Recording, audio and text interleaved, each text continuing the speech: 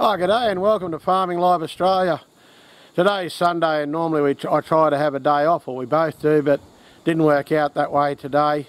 This morning we're starting our round of cattle work, which is really completely out of step with what we'd normally do. Normally we'd be finished all our cattle work other than maybe we might have to wean a calf or spray some cows for fly or something. But normally in the wet season we don't do cattle work of any substance just any little remedial work that needs doing but nothing much. But it's different this year. I had a knee replacement earlier last year and it sort of put me out of action for any major work. So we're right out of step with everything and we've had trouble getting the yards dry enough to do cattle work. But anyway we're into it now and I'll show you what we've been doing and what we're about and how it's going. Hope you enjoy this video. While I'm getting things ready, I'll just explain a little bit to you about what we're going to do to the cattle and why. Here I'm just lighting the branding fire. As well as branding, the cattle will have Pour-on put on them, which is a substance that helps with worms and ticks and fly. And the one I'm using today I haven't used before because we change the chemical round from time to time and it's supposed to last for three months. This is a label on the bottle of stuff that we're using. It's called Tick Pro and it's primarily for ticks but it helps with other things too. Another procedure we have to do to them is inject them with botulism vaccine and it's a disease that they get from chewing on old bones or if you make silage and somehow you wind up getting a rat in the silage or anything with meat in it can give them botulism and they die from it. People can get it too. I don't think it's just cattle, but it's a real problem in cattle if you don't vaccinate for it. Well, we're finally ready and we're just shutting the gate on the forcing yard. They'll be run up the crush and then we'll start to work on them. The big gate in the forcing yard just comes around and it makes the space they've got smaller and smaller and they don't feel comfortable in such a tight space so they run up the race where there's a bit more room and then we put the sliding gate round behind them and then we've got them under control. They're all going in nicely but the trouble is the front ones won't move right up at the moment and there's not enough room for that back one. So what I'll have to do is shut the gate and um, move them up and start to make room for it. Here I'm painting an orange mark on this heifer and why I'm doing that is that's because I'm going to sell her. So I know she's been processed and what we've done and we'll write it in the records as well and she's got a user ear tag number that we can refer to but that just makes it easy when I'm drafting them to see what I need to do. I normally don't do that because we're normally a lot more organised, but because we're in such a schmozzle, we're just doing that to make things a little bit easier. Here I'm going to give her a botulism injection. That spray bottle has got metho in it and I spray the needle and the wound site and then I'll inject her with the botulism vaccine. She doesn't like it much, this cow. She's a bit touchy.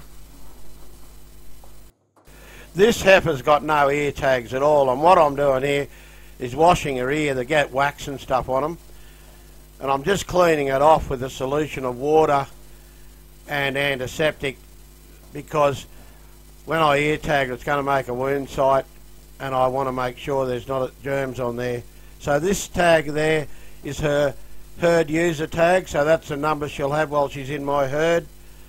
When I sell her they might do something else, but that's what I'll, I refer to that number for all my cattle management. And the other tag she'll have because she's getting sold is an NLIS tag. When we finish tagging them, we spray iodine solution on the wound site just to try and make sure it doesn't get infected. Here I'm doing the last job on her, which is applying the Pour-on. And after this, she'll be going out.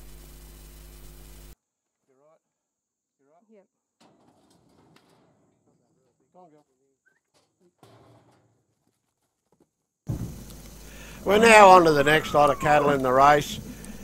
Here's the brands in the branding fire. All going good. These sores on the cow, see around its eye, and you'll see it's got other sores on its neck down here, are the result of flies, buffalo flies. And they make the sores all over the cows. And some cows have softer skin than others and are more susceptible. And that's why we try to look after the cows and put pour-on on them and spray them, etc. I don't think people not in the cattle industry understand why all this has to be done. But the bottom line is if you don't do this stuff, the cattle will either die or not perform to their best ability.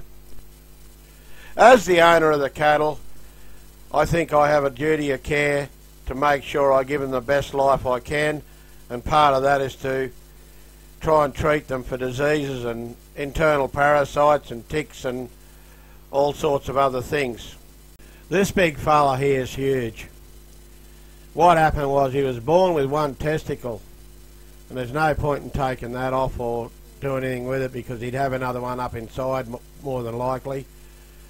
So I thought, well, I'll raise him up, just keep him separate a bit, and then I'll sell him as a bull to the meatworks. But what happened was he was a little bit, oh, he was not nasty. He wouldn't go you, but he was a bit wild. And the last time I sold bullocks, he was going to go on the load. And that was the day he hit the frog and toad and we couldn't find him. He just disappeared. So I brought him over home here where I can keep an eye on him and I quieten him a fair bit by letting him come in the yards and feed with the other cattle and he's pretty well behaved now. So he'll definitely be going to the meatworks with the next load of cattle. But if you look at me, I'm five foot nine high and he's nearly as high as me. He's a big lad. The pour-on treatment is systemic, meaning it goes right throughout their system, and you can't slaughter cattle for so many days after it's been applied until it's clear of their system. The cattle are back out in the paddock now and they're all happy. They've forgotten about their experience. Anyway, that's about it for this edition of Farming Life Australia. Thanks a lot for watching. We'll see you next time.